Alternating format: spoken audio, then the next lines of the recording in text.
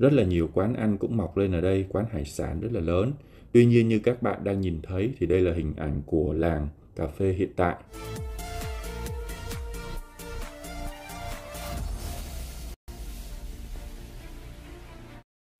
Thành phố Hồ Chí Minh sẽ bỏ hơn 500 chốt giám sát.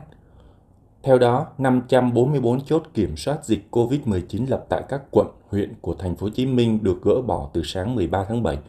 Lực lượng chức năng sẽ tuần tra lưu động để xử lý người vi phạm. Sáng 13 tháng 7, toàn bộ 144 chốt kiểm soát cấp huyện, quận và 400 chốt tại 312 phường xã thị trấn ở thành phố Hồ Chí Minh được giải tỏa Công an thành phố Hồ Chí Minh chỉ đạo cơ quan chức năng địa phương chuyển từ đứng chốt kiểm soát sang tuần tra kiểm soát, xử lý lưu động trường hợp vi phạm trên đường. Trao đổi với báo Dinh, Trung tá Nguyễn Văn Khởi, đội trưởng đội cảnh sát giao thông công an quận Gò Vấp cho biết trong sáng nay, các chốt kiểm soát trên địa bàn đã gỡ bỏ theo chỉ đạo cấp trên. Lực lượng chức năng quận này đã thành lập 4 tổ tuần tra thực hiện nhiệm vụ mới. Riêng 12 chốt trạm kiểm soát phòng chống dịch Covid tại các cửa ngõ thành phố Hồ Chí Minh vẫn được duy trì. Thành phố Hồ Chí Minh bắt đầu áp dụng chỉ thị 16 trong vòng 15 ngày kể từ 0 giờ ngày 9 tháng 7. Các dịch vụ ăn uống mang về phải tạm dừng, người dân chỉ ra đường khi thực sự cần thiết. Các phương tiện giao thông công cộng vận chuyển người bằng xe hai bánh như xe ôm, xe công nghệ phải đều tạm dừng hoạt động. Từ 24 tháng 4 đến 13 tháng 7, thành phố Hồ Chí Minh ghi nhận trên 15.000 ca mắc Covid mới. Thành phố Hồ Chí Minh bắt đầu áp dụng chỉ thị 16 trong 15 ngày kể từ 0 giờ ngày 9 tháng 7. Hơn 500 chốt kiểm soát dịch Covid-19 đã được lập tại các khu vực giáp ranh các quận, huyện để kiểm soát dịch bệnh. Ai sẽ được ưu tiên vaccine đợt 5 tại thành phố Hồ Chí Minh?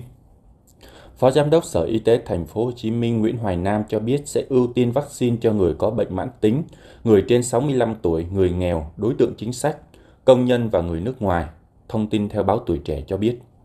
Báo cáo tại cuộc họp báo thông tin về tình hình COVID-19 chiều 12 tháng 7, ông Nguyễn Hoài Nam, Phó Giám đốc Sở Y tế, cho biết hiện nay thành phố phân bổ tiếp nhận hơn 1,1 triệu liều vaccine ngừa COVID-19. Về các đối tượng được ưu tiên tiêm vaccine đợt này, ông Nam cho biết theo kế hoạch sẽ ưu tiên tiêm vaccine cho người có bệnh mãn tính, người trên 65 tuổi, người nghèo, đối tượng chính sách, người lao động làm việc tại các doanh nghiệp, cơ sở sản xuất kinh doanh dịch vụ tiện ích, thực phẩm, chăm sóc sức khỏe và một số ngành nghề khác. Bên cạnh đó, đợt tiêm vaccine này cũng sẽ ưu tiên cho công nhân, người nước ngoài trên địa bàn thành phố. Theo ông Nam, nếu đợt trước ưu tiên cho lực lượng phòng chống dịch, lần này người dân sẽ được ưu tiên tiêm chủng.